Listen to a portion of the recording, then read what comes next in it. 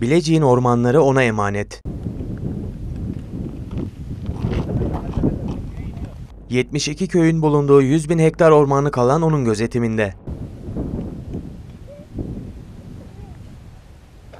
Evli ve iki çocuk annesi olan Şaheste Ünsal, yılın yarısını Çaltepe Yangın Gözetleme Kulesi'nde geçirerek olası yangınlara zamanında müdahale edilmesi için yoğun mesai harcıyor. 72 köye bakıyorum.